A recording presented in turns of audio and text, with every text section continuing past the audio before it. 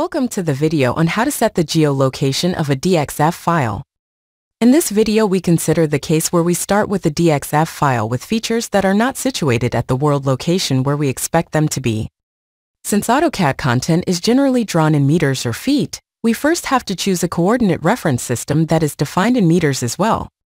Since our DXF is situated in the Netherlands, we choose the EPSG coordinate system with number 28992. If we already have a Tygron project that encompasses the contents of the DXF file, we can use the project's world location as a reference point. To inspect the world location, select the File tab in the ribbon bar. We will need to copy the map center location for two coordinate reference systems. We will use these two coordinates to position our DXF drawing. To adjust the export coordinate system, click on the Change CRS button. We will first pick a coordinate system to obtain the latitude and longitude of our project's center coordinate. In the search field, type the numbers 4326 and press enter. A search process will start. Once the processing is complete, select the coordinate system in the table and click on the Select button.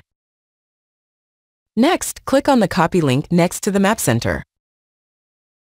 Next, we will open the DXF file in AutoCAD.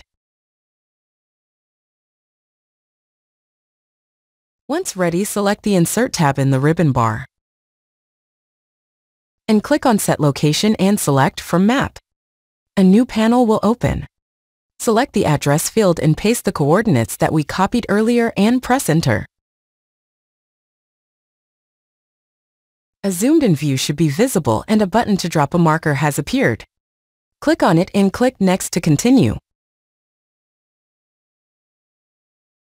In this step, we have to select the coordinate reference system that we have chosen at the beginning. In our case, we select Amersfoort RD New and click Next. Now switch back to the File panel in the Tygron Client application. Click on the CRS button and now select the coordinate reference system in the table with the numbers 28992 and click on the Select button to confirm.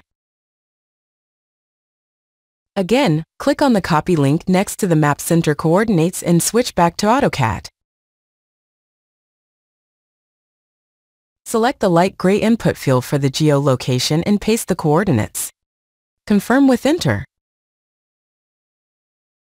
Next, we have to provide the northing angle. Use the default option of 90 degrees and again press Enter to continue.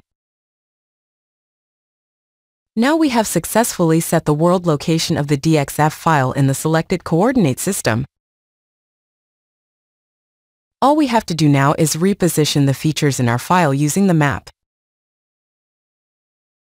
Select all features in the visible layer. Next select the Home tab in the ribbon bar and click on the Move button. Now click on a point close to the set of features. Next zoom out a few times and zoom in towards the marker location. Once zoomed in, position the features using the satellite image. You have now successfully set the geolocation of the features in a DXF file. You can save the file and import it into the Tygron platform. How to import a DXF file is described in a different video.